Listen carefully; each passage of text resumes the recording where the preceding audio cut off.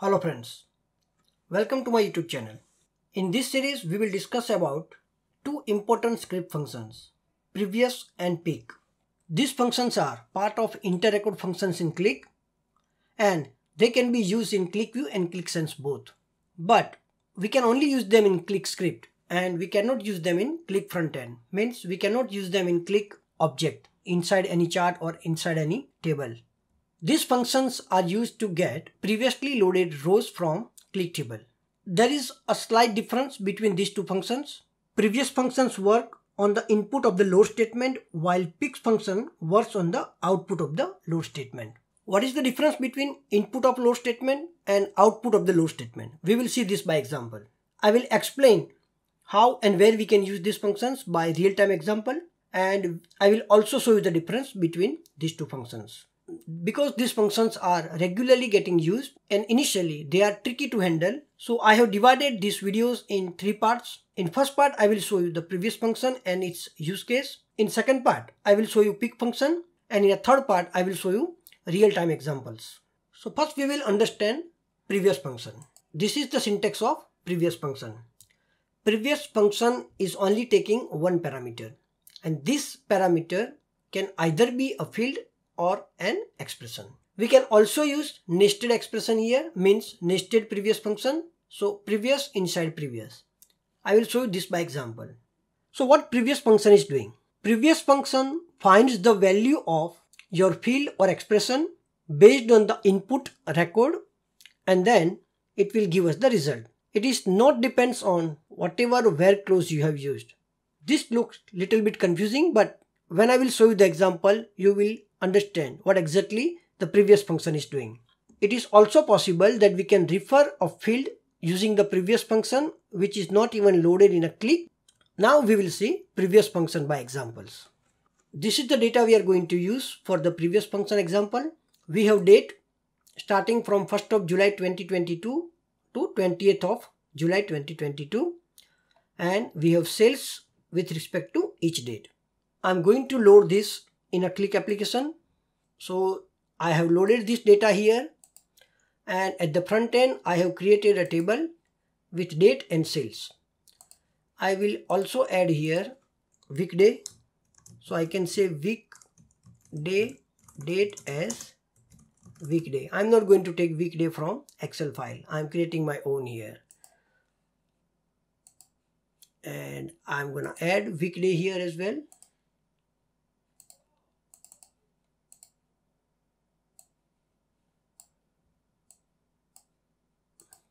So first of all, previous function can only be used at backend. So if I will try to use here previous function, if I will say here previous sales, it's not going to work. You can see previous is not even considered as function here by Qlik. Whatever function, if you use sum here, you can see the color of the function. It is blue color. So if I'm using previous here, it is not recognized as function at the Qlik front end. So it's not going to work. That means if I will use here previous sales, I should get null. Now I'm going to use previous function here. So I will say previous sales as previous sales and I will say previous day sales. I'm loading this application and at the front end I will add this previous day sales and I'm going to remove this previous sales. So now you can see that we are getting sales of previous row. So for the 2nd of July 2022, the previous row is 1st of July 2022, that means 120. So here we are getting previous sales as previous row sales, which is 120. So for 10th of July, the previous row is 9th of July. So that is 50. So we are getting here 50. So the for the very first row, 1st of July 2022, we don't have any previous row. So here we are getting null. We can use here if statement if we want to replace this null by zeros. I can say if row number equal to 1 then 0 otherwise previous sales and if I will load this then the very first row will get 0 and for the remaining of the rows we will get previous value.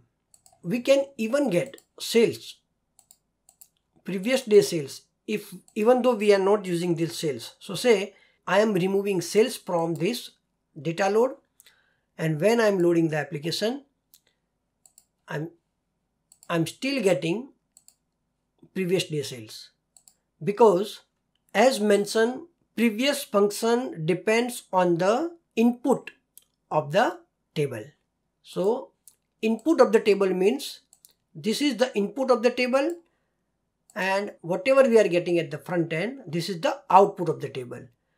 So input and output means i will give you one more example. So i am i am adding this sales back here. I will also add sales here and if I will use here something like this so if I will say here where not match weekday Saturday and Sunday. So what I'm doing here is I am not considering data means I am not trying to get the data of weekends. So when I load this application we will only get data from Monday to Friday. So let's analyze the final result. I will also keep this original data file here so that we can compare much better way. So first of all, first July is Friday and we are getting 120 but it is the first row so we are getting 0 here. Now directly we are moving to 4th of July because we haven't loaded data of Saturday and Sunday which is I have highlighted by yellow color. So even though we haven't considered data as an output we are still getting previous day records for 4th of July as 130. You can see here we are getting 130 because 130 is actual sales for Sunday, 3rd of July. So what I mean to say here is even though this Saturday and Sunday is not part of our output table, we are still getting 130 as previous sales because previous function is depends on input of records, not the output of records. So input of records means all records even though they are not considered due to where condition. So all records and this is the output. So peek function depends on output while previous function depends on input. That means when we will try to use peek function, it will give you result based on whatever output we have. But in a previous, it will depends on the original source data. Now, what if uh, I'm going to remove this one because we don't want to show 0 as the first row. Okay that's fine. And now we can also use nested previous function. So that means I can also say previous previous sales means two times. And when I load this application and I will say two day sales so when I add this one, I will get row two rows back. So let's see here. The first one is always null, whether it's a single or it's a nested previous. Now for the fourth, because Saturday and Sunday is not part of this load anymore.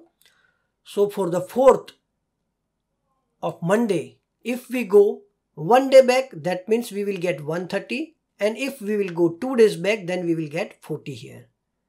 Same way we are getting 150 for 5th of July and 130 for two days back on 5th of July. We can also use another previous function here.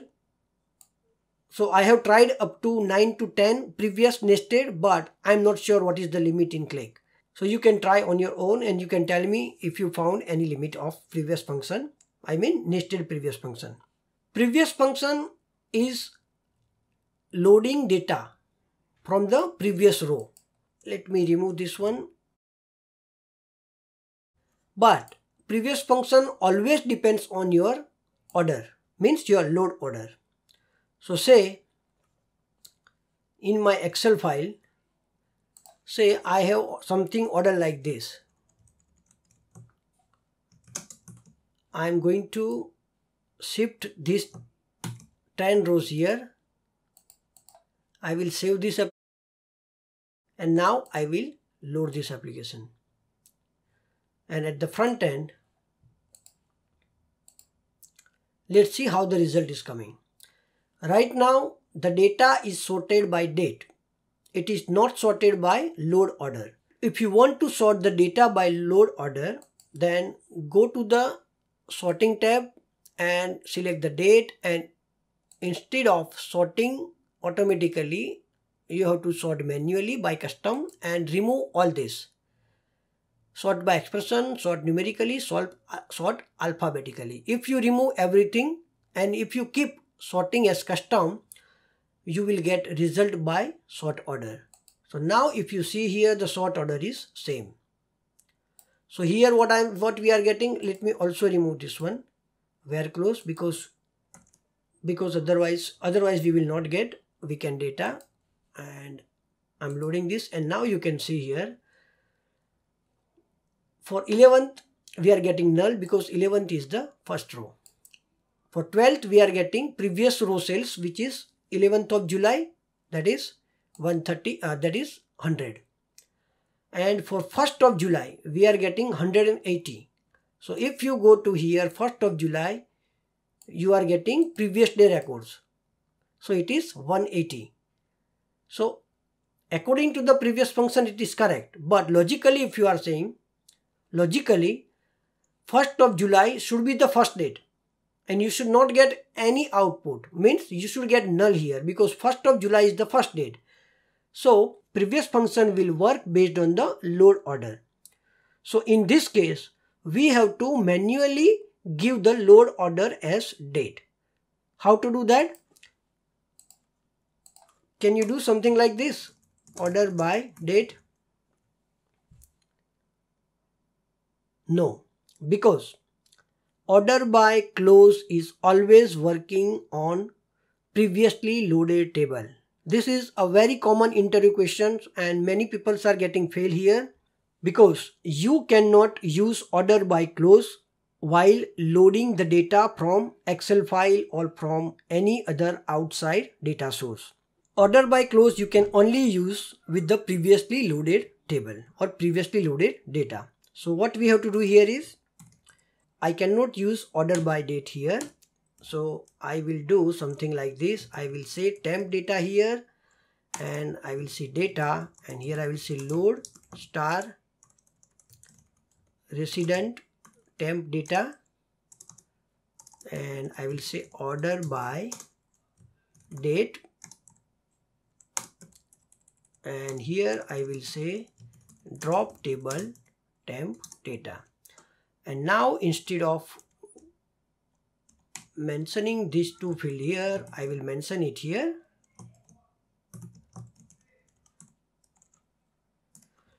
and when I load this we will get the correct output. And now the load order we can remove and I can say load by numerically ascending order. So now you can see we are getting the correct output. So for first which is the first date we are getting 0 and for 11th we are getting 190 which is a sales of 10th of July. One more thing, previous function will also work when you do the preceding load. So first what I will do, I will make the data proper. I will save it so I don't have to do this resident load. And here I will do something like this. And and I will do preceding load. I will say load star and these two columns or these two fields I will load as a preceding load and still we are going to get the same result. So previous function is also working same inside the preceding load. So hope you understand now how previous function is working. In next video we will see peek function. Till then thanks and have a good day.